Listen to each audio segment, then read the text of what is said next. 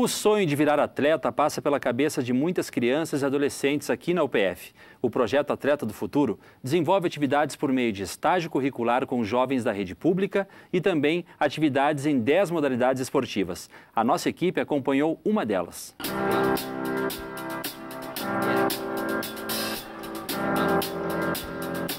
De um lado, do outro, esses pequenos no tamanho, mas gigantes dentro d'água, aprendem a nadar. Eles participam do projeto Atleta do Futuro, que é desenvolvido pela Faculdade de Educação Física e Fisioterapia da UPF desde 2002. Hoje, o projeto tem 654 participantes e um envolvimento anual de cerca de mil jovens. A natação é uma das modalidades praticadas pelos atletas.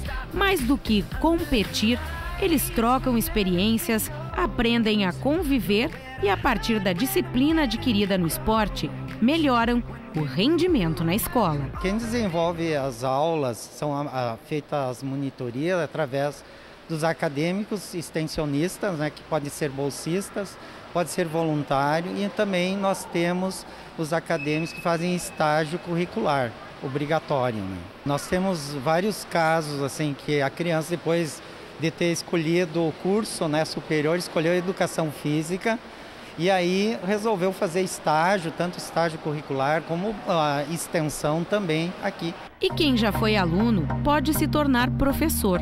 Há dois anos, Graziele ensina a outras crianças o que aprendeu um dia. Para mim é uma experiência sem tamanho, né? Gosto muito de estar atuando aqui e como eu já fui aluna, para mim é sensacional.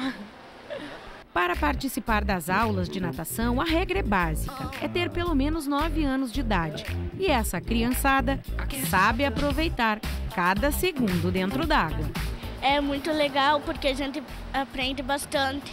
Das atividades que tu aprende aqui, o que, que tu mais gosta de fazer? Uh, da penada, do cachorrinho, do canguru, do tubarão, de várias coisas.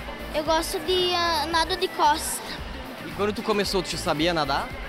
Mais ou menos. Sim, mais ou menos. Eu já ia em clubes de piscinas meio fundinhas. Muitos vêm com vontade de ser atletas, outros também são encaminhados assim por médicos para questão de saúde, né? Por causa do desenvolvimento cardiorrespiratório, que é muito bom fazer a natação. Né? A brincadeira, o ambiente descontraído e depois eles começam a ir para a equipe já mais no com interesse de competição.